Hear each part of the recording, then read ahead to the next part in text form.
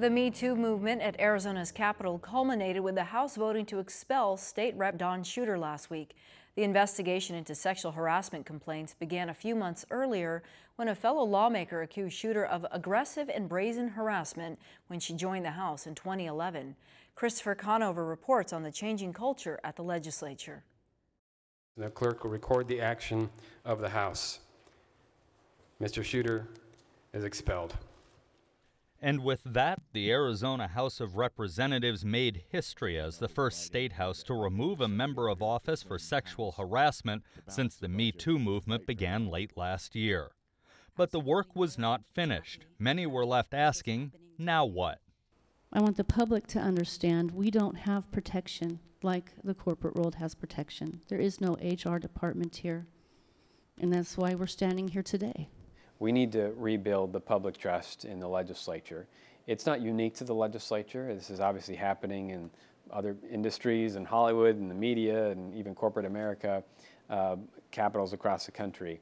But we are elected by the people, and the people want to see their elected representatives held to the highest standards and living to that standard. And so that's going to take some time, but we need to, uh, to ensure that we have policies in place that protect that. The proof will be in the pudding, but it's not just about a policy. It's not just about a training one day. It's not just about, you know, signing a document. Um, you have to actually act on it. Mi-Ai Parrish is on the faculty of the Walter Cronkite School of Journalism at Arizona State University. Before that, she was the president and publisher of the Arizona Republic. And when allegations surfaced against Shooter, she wrote an op ed in the paper detailing her own run in with then Senator Shooter. She says the changes we're witnessing in American culture feel different this time. I think you have an opportunity right now to really make a difference. These are people's lives and livelihoods and safety and um, their opportunity. And that's for men and for women. In the legislature, leaders are trying to come up with ways to ensure that happens.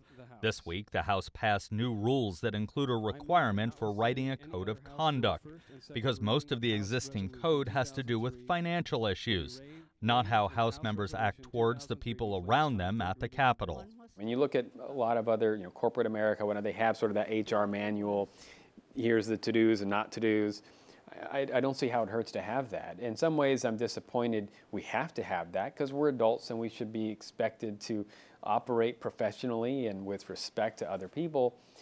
But if we're not doing that, then this makes sense to be the next logical step again on the road to trying to rebuild the public trust.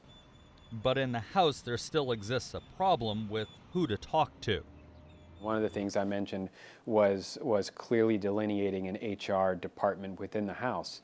Um, and so that will be a process. Um, we have some HR personnel, but uh, and I think staff probably has a better idea of that. But when it comes to members, and it, we could just benefit from greater clarity and greater formality uh, in terms of HR. It's tough because unlike the corporate world, you know, where you have the the person at the top who can fire anyone who's misbehaving, we obviously have to take very drastic measures to, uh, to fire somebody if it's not the voters doing that.